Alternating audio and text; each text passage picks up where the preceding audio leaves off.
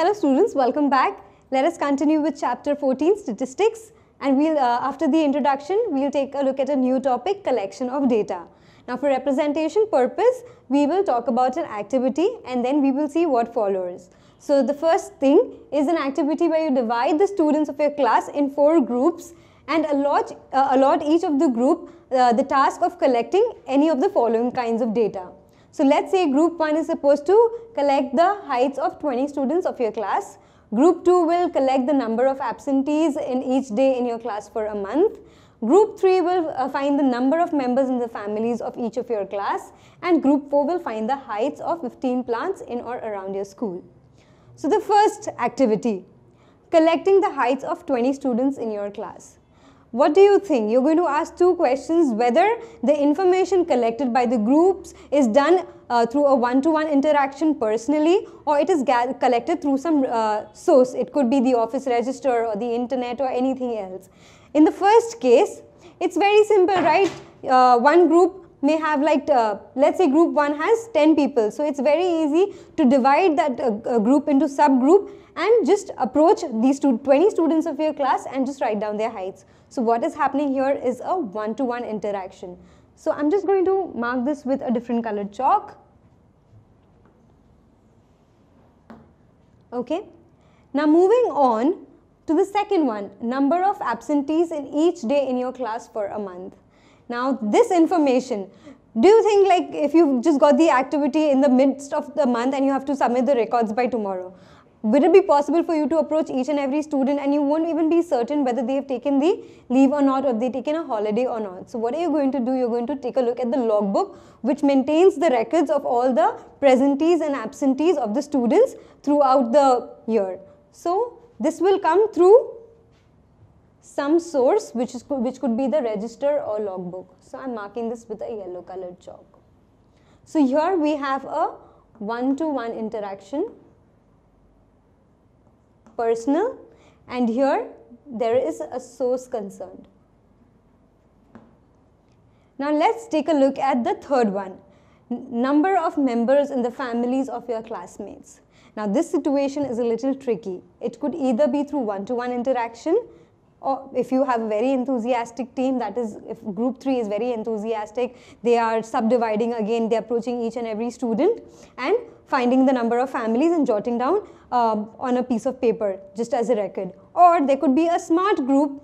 What they could do is they could invest their enthusiasm in uh, thinking that how can the data be extracted very easily. That is, they will approach the office premises somewhere in the office faculty and just ask for the records that are filled at the start of the year in forms where the number of families of each student is written. Of the family members is written, right? So here it could either be through one-to-one -one interaction or through source depending upon the enthusiasm and smartness, smartness of your team. So I'm not underlining this as of now. Now let's move on to the fourth one. Heights of 15 plants in or around your school. Do you think this is possible? There will be like several plants. In my uh, school, I remember there were like huge trees and there were like thousands of plants, a lot of greenery. Believe me, even if there, were, there would have been a group of 20 students, it wouldn't be possible for us to go manually and check the height of each plant. So I would have or the group would have gone to the gardener and asked for this information. So again, what is happening here is the students are not going to individually on a one-to-one -one basis going to go and measure the heights of the plant, but they're going to go and collect it from the gardener or caretaker of the garden. So what is happening here is again, there is source involved. So what is the difference between the ones that I have underlined? When I say that some information or data that is gathered personally, that data is known as primary data.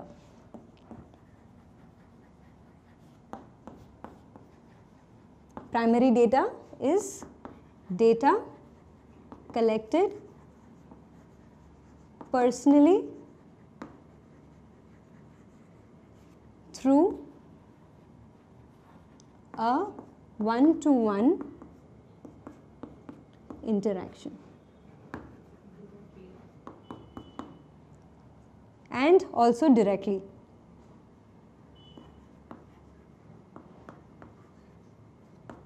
Okay, because here no third person is involved. It's just direct. You just go approach the person. it's very direct. It's not indirect. So this is primary data. Now what about secondary data? Secondary data is obviously going to be the opposite. Secondary data is nothing but where a third person is involved or it's indirect where the collection of data is indirect. So it will be through some source. So data collected through an already available source. So source here could be a register or another person or anything else. It could even be the internet. So this was about collection of data and the two types of data that uh, your data could belong to. It could be either primary or secondary. So to explain this further, we have exercise 14.1 of your textbooks. This is on page 239. So let's read out the first question. Give five examples of data that you can collect from your day-to-day -day life. And the second one is classify data in question one as primary or secondary data. So let us just write uh, five simple examples that we come across our day-to-day -day life where we are collecting data. So I'll say one and I'll just write down the different kinds of data. So let's say the number of girls in your class. Okay. The second one could be the number of computers in your school's computer lab. Right? Then third one, let's say the number of sandwiches in your tiffin today. The fourth one, let's say the number of students who passed in the state of Maharashtra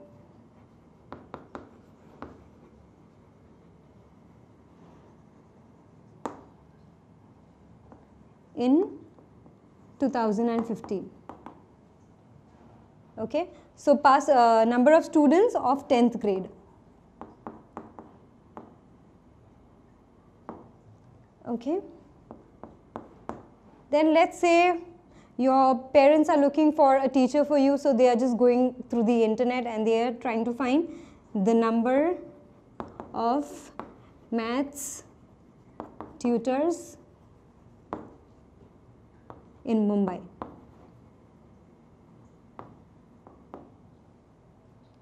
So these are five examples of data that you can collect in your day-to-day -day life. Now we need to classify the data in question 1 as primary or secondary data. So I'm just going to mark these here itself. That is I'm going to combine question 1 and 2. So question 1 and 2. Okay, let's see the first one. The number of girls in your class simple to count you can just do it personally directly so this is going to be what it's going to be primary data now let's just do this exercise randomly the number of maths tutors in Mumbai is it possible for anyone to go directly and find this information no it is going to be available either on the internet or newspaper or in the telephone directory. You can just call Just Dial and they can give you this information. So this is through a source. So this data is going to be secondary.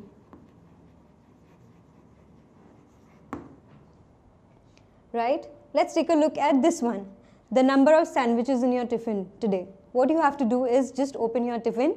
I know the smell is going to just lure you, but do not eat it uh, during class hours. This is going to be primary data because you're going to check this information personally, right? Okay, the number of computers in your school's computer lab. Again, you just have to go in the computer lab. There aren't many labs. There's just one computer labs in the schools usually just one if uh, there's a primary and secondary. So if you're in the primary section, you can go to the primary section or you, if you're in the secondary section, you can go to the computer lab of the secondary section and just count the number of computer uh, the computers in the lab. There are minimum of like 15 to 20, not more than that, I'm assuming. So this is going to be again primary.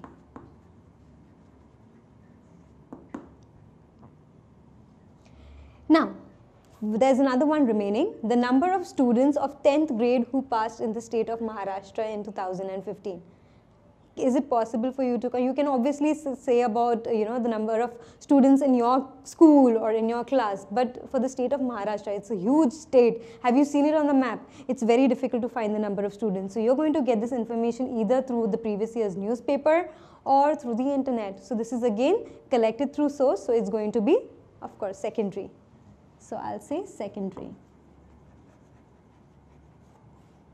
so secondary secondary and 3 primary. Okay.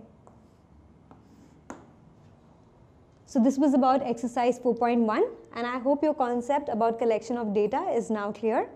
Thank you for watching this video. Hope this video increased your knowledge. For more such videos and a completely free educational content, log on to www.epathshala.org or visit our ePaathshaala YouTube channel. We have each and every question solved for maths, physics, chemistry and biology. So subscribe our channel, share with your friends, like our Facebook page and follow our Twitter handle for regular updates and important educational tips and also win ePaathshaala goodies. So what are you waiting for? Subscribe this channel and enjoy the freedom of education.